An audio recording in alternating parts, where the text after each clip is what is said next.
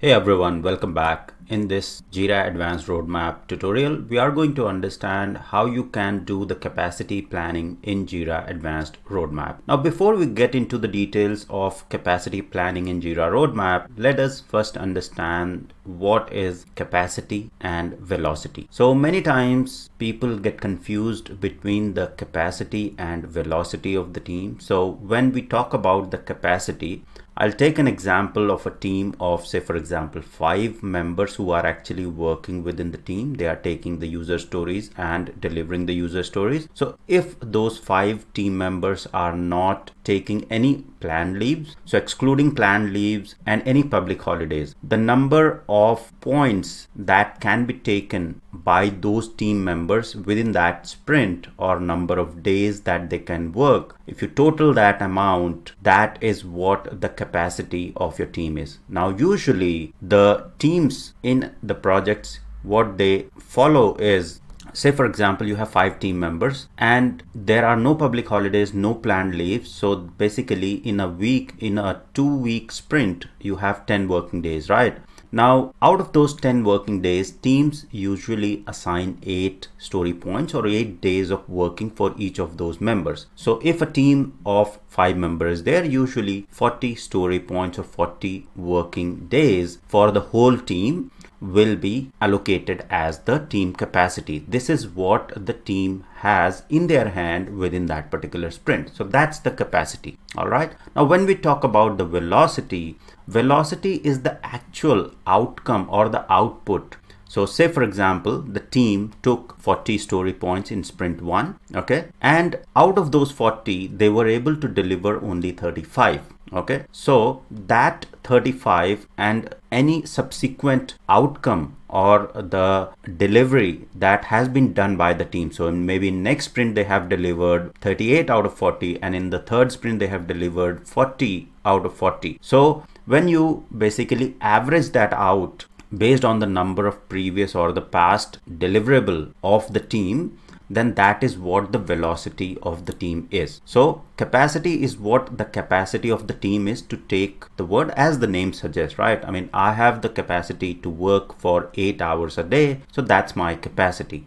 But when we talk about the velocity, five days working continuously, I might not be able to focus for eight hours or deliver those the work items that have been allocated for eight hours every day with the same speed, right? So there might be possibility, there might be some blockers that come in picture and they might reduce my velocity. Okay, so this is briefly about the capacity and velocity. Now Jira Advanced Roadmap provides very good feature of the capacity planning. So how you can do the capacity planning, let's go ahead and understand that. So we'll create a new plan. Okay, so go ahead to the plan and we'll click create plan and in the plan name, let me give it a name capacity planning demo. Leave the access as open and make sure that in the issue sources you select the board. So board for the project that you want to plan right? So for example ios is the project that i want to plan and the android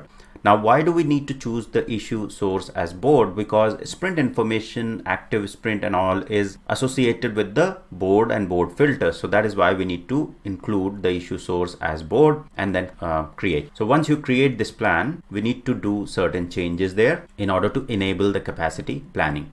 Now there's the basic view. If we go to the top level planning, you will see that these two projects are here and the issues that were there or the epics that were there along with the stories have been pulled in. Now, in order to enable the capacity planning, you need to go to the view settings. Then you need to group by either the team or the sprint. Okay. So if you change it to team and ensure that show capacity on timeline is checked, then it will enable that capacity planning. Now still you will see that this team currently is not in this plan, right? So team we haven't added. So let's go ahead and add the team as well. And because you, you are able to see it because there are some, if you see this pop up, it says it's appearing because it's assigned to issues in the plan and that is why it is appearing, right? So there will be, if I filter or add the teams here, you will see that this team is added, right?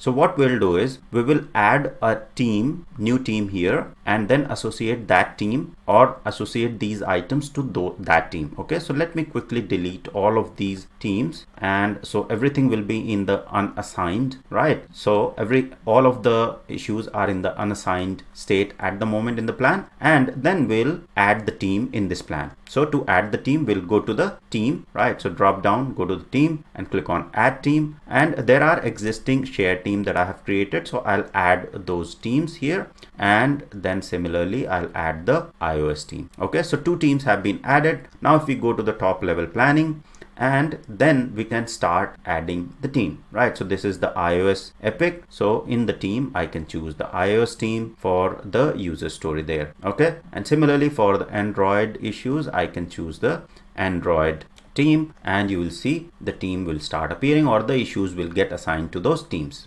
all right? And then you will see the message that associate this team with an issue source to view its sprints. So still we cannot see the sprint. This is another thing that we need to fix. Now, how do we need to associate this team with an issue source? In the issue source we have ensured that we have selected board right? But that's not enough to view these sprints. What we need to do is we need to go to the teams again. And here you will see that associated issue source is none. So we have to edit and click on the issue source as the board save it and similarly for the android. So once you have saved it if i go to the top level planning now you will see the sprints have started appearing right? And the capacity of the sprint and the points that have been allocated to that sprint, right? So if you see the hover, the pop-up here, 30 is the capacity of the sprint and 8 is the story points that have been allocated to that particular sprint. If I click on that, you will see that 8 of 30 points allocated and it will show you all the details about the sprint. Let me move this here. So you'll see that sprint capacity is 30 points. You can change the sprint capacity right from here as well. Say for example, for this particular sprint, I have the capacity of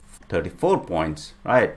Then you can update that here and you will see that this is this change is is, is saved in this particular plan right? So that's another of another possibility right from the capacity plan. Other thing it will show is the status of the issues that have been allocated and then you can view the sprint in Jira or filter issues and then view velocity chart right from here. Let me move it this from quarter to month so that we can see the or maybe week so we can see the sprints clearly and what I'll do is I'll remove the start date and end date and components so you can see the sprints right? So now if I change it to months you will see that the sprints are appearing for both of the teams right so this is sprint 1, 2, 3, 4, 5 and accordingly the projected sprints will appear. And now you can do the sprint level planning and uh, associate or align the issues, assign the issues for these sprints. And you will see what the capacity of that sprint is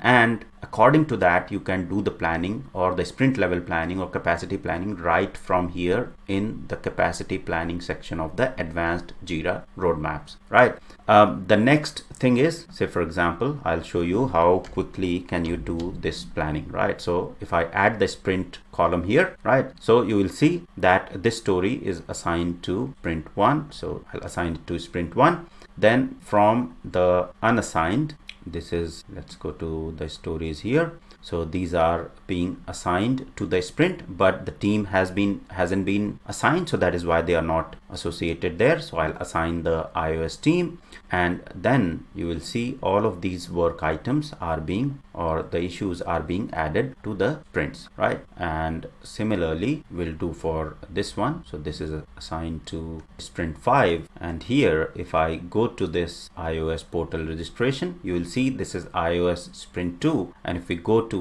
this particular sprint you will see the capacity is 30 but allocation is showing as 0 why is that? Because these tasks haven't been estimated yet. So we need to make sure that we have the estimation for these or the story points for these allocated there. So say for example I'll assign the allocation or the story points 13 and come back then you will see the allocation. If I refresh this you will see the allocation will be done successfully for those particular work items within that sprint. You will see now it is showing that 13 of 30 points have been allocated. Now this sprint is 43 percent full. Okay? So same way basically for the team level you can keep going through the task at the portfolio level and assign the sprint that have been created based on the priority of the deliverable and associate the team. And if there are tasks and issues that haven't been allocated the story points then it won't it will show as allocated as zero. So you have to make sure if it is showing as zero even though you have associated these tasks and story points uh, stories there that means they haven't been estimated. So you have to make sure those are estimated so that all the points add up and you can basically you know estimate those. Okay? So say for example this one this task if i see so it doesn't have the story point point field there. So let's go back and see some other stories. So this one say for example right? So this is sprint 3 and these all are sprint 1 okay? So all of these haven't been assigned the story points you see?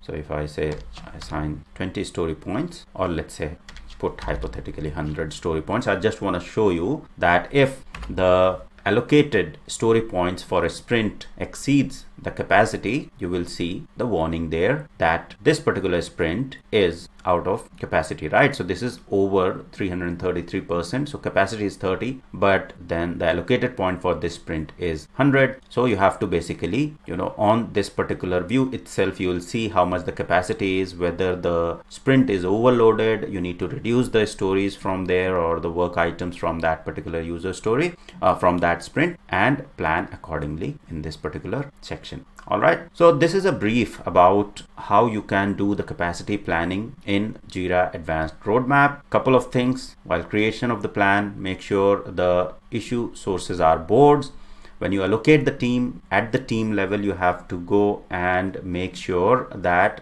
the source issue source is selected right? Associated issue source is selected and this is what you have to do. So there is one thing which is which is issue source from the configuration from here. This has to be done as well as you have to make sure when you are in the plan you have to go to the team and for the team the issue source needs to be the board as well only then you will be able to see the top level the the capacity planning view that i'm showing you here. Okay? So this is all about it and once you are happy with these changes you can simply review the changes right? And then basically you can say yeah i'm good with this particular plan and if you're if you want to save it to the jira then simply save the selected changes in jira okay? At the moment since you haven't changed it these changes are still in this particular capacity planning demo plan itself and not saved into the jira or the issues haven't been updated with all of the details that you have updated here. Okay? So that's all for this tutorial on capacity planning in jira advanced roadmap. I hope this was helpful. Thank you very much for watching